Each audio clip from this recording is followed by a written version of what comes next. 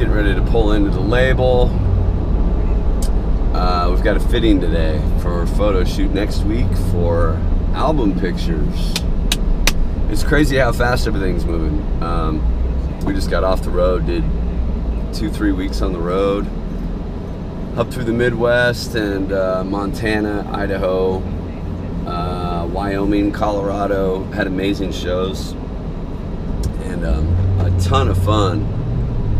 And then um, the band flew back to, or uh, the band and the bus came back to Nashville, and I flew out of Grand Junction, Colorado, down to Arizona.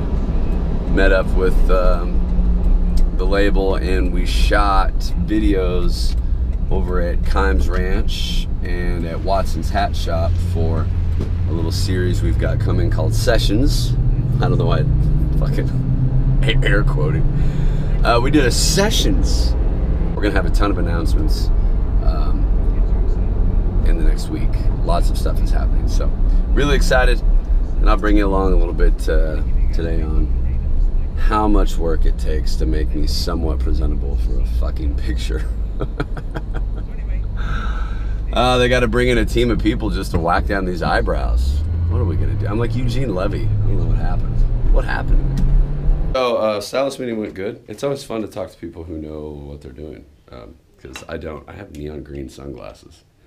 Everything I own costs uh, no more than seven dollars, or I leave it. So we're gonna get some help. Photo shoot coming. Lots of news coming. It's good. Ideas and talks for the photo shoot next week. Did a bunch of liners for um, all of our friends out in the digital world about the new single and about all the new cool stuff happening. So uh, it's it's very exciting. It's a great time, and uh, going to be super stoked once we can kind of let everybody know exactly what's happening. But